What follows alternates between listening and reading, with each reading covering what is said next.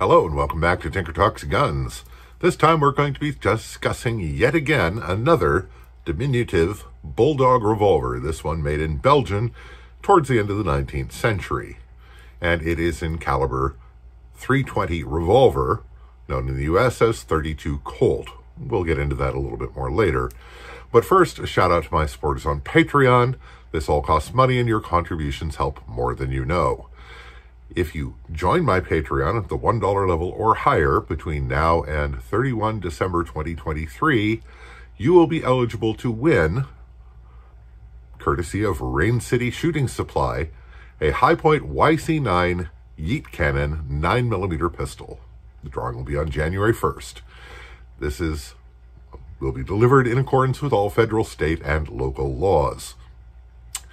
Um, also like to shout out to my channel benefactors, like the lovely collector who provided this for your viewing pleasure and has many times been very helpful to the channel and other places and people who have made contributions of ammo, firearms, and all manner of other helpful things. So, this is a tiny revolver, so the best way to have a look at it is to go straight to the tabletop. So our Belgian friend of indeterminate manufacture is quite svelte, little under six and a half inches long, little under four inches tall, and uh, very easy to slip into a pocket for purposes of concealment, which was its intent. Like many European continental-made bulldogs, it has a manual safety, which up is fire, down is safe can't pull the trigger. Push it up and you can pull the trigger, but I'm not going to for reasons that will become apparent as this goes on.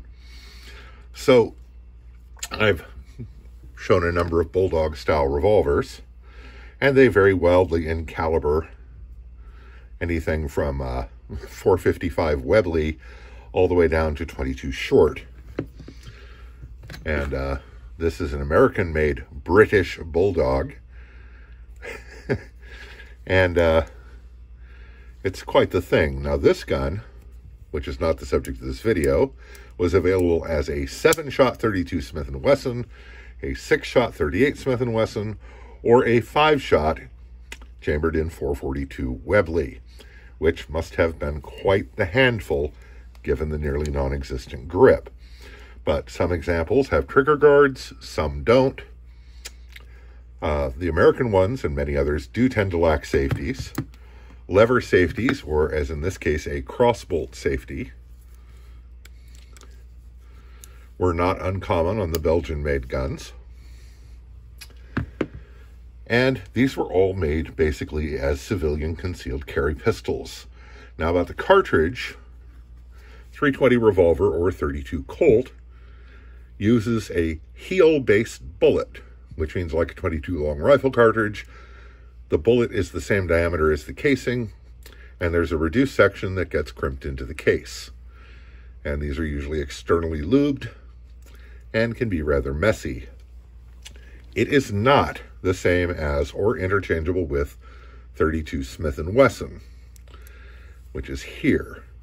Now, 32 Smith & Wesson, they both use the same diameter bullet, approximately 0.312 inches. But in this one, the case is 0.312 inches, and on this one, the bullet is set into the case at full diameter, so the outside diameter is 0.335 inches, which, believe it or not, allows it to hold more powder. So yes, the anemic 32 Smith & Wesson is notably more powerful than the 320 revolver or 32 Colt, which has been called the most useless pistol cartridge ever devised. Um, I'm not really going to weigh in on that. You know, you pull the trigger, gun goes bang, bullet goes down range.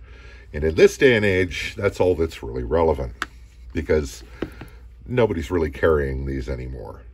Now, what characterizes a revolver as a bulldog is a short barrel, generally a petite grip, and a uh, double action, single action operation, although there were double action only examples.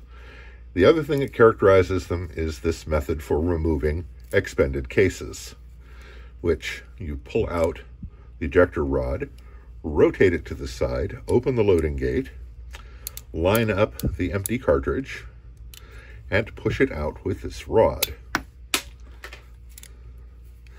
And then it can be stowed back inside the cylinder arbor so you can load the pistol and continue firing.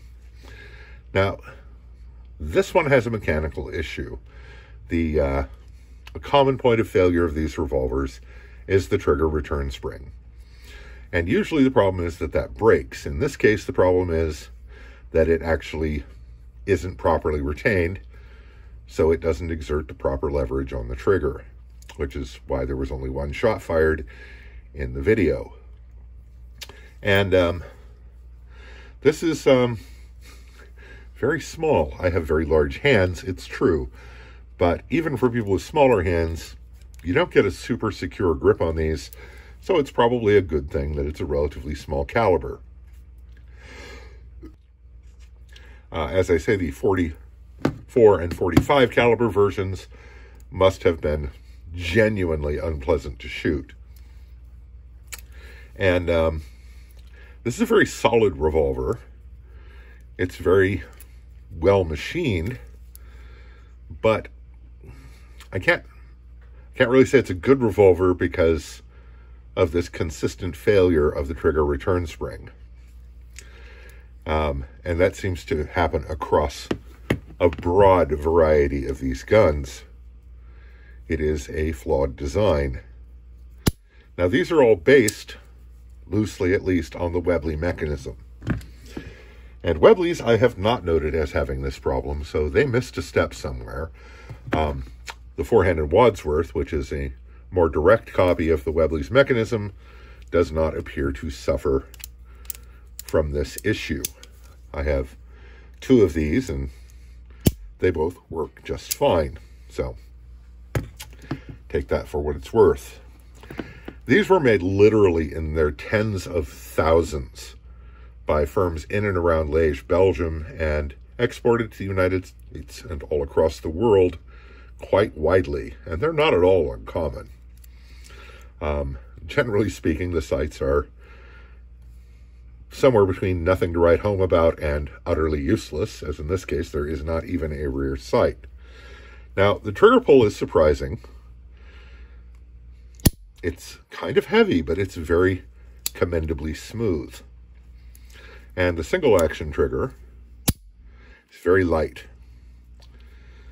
But, again, we don't want to mess with that too much on this gun because issues.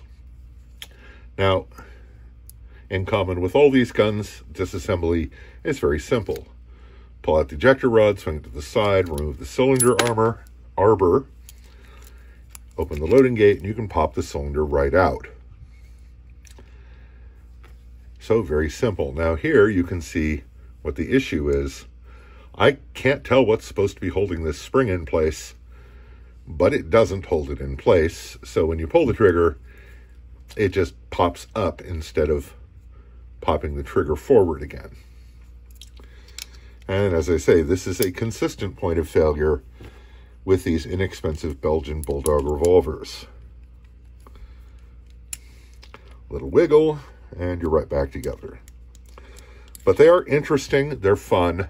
I like them quite a bit. Utterly impractical in today, you know, in this day and age, of course, even regardless of the uh, notably ineffective caliber. But still, interesting and a lot of fun. One thing that interests me is that this, which has a folding trigger, as many of the Belgian guns did, um, is almost identical in size, but it is a five-shot 38, firing 380 revolver, which is a heel-based cartridge much like this one, except it's 38 caliber. So, kind of a neat, fun little uh, bit of firearms curiosa. Guns of this type, mostly imported from Belgium, were wildly popular on the American West, where, contrary to belief, most people did not carry full-size service pistols. They just wanted something small and handy that they could drop in their pocket.